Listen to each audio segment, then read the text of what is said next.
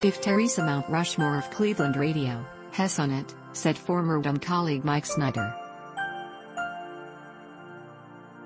Cleveland, fans, friends, colleagues, and rivals all took to social media on Thursday in remembrance of Mike Trivisonno, the WTAM 1100 talk show host who passed away at the age of 74.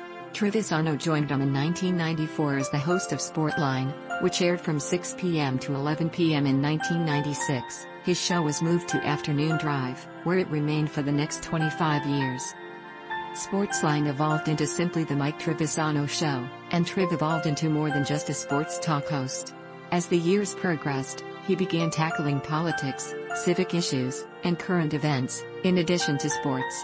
One of Triv's former colleagues at WTAM was 3 News Nick Camino, who leads off our list of tributes from social media. WTAM's Dennis Manoloff added this remembrance of Trivisonno early in my broadcasting career. I worked with Mike Trivisonno. In 1996, I interned with both he and Mike Snyder at Tom. It was an amazing experience that I've always treasured. He was always kind to me and it meant a great deal that he gave me the opportunity to be on the air.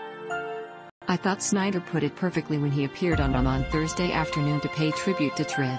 If Teresa Mount Rushmore of Cleveland radio, Mike Trivisonno is right there on the forefront, Snyder said emotionally. Mike Trivisonno was on that. You can listen to Snyder's tribute below several other members of the Cleveland sports media scene also paid tribute to Trivisonno. One of Trivisonno's closest friends was legendary Browns quarterback Bernie Kosar. He posted a message of love featuring picture of himself with Trivisonno.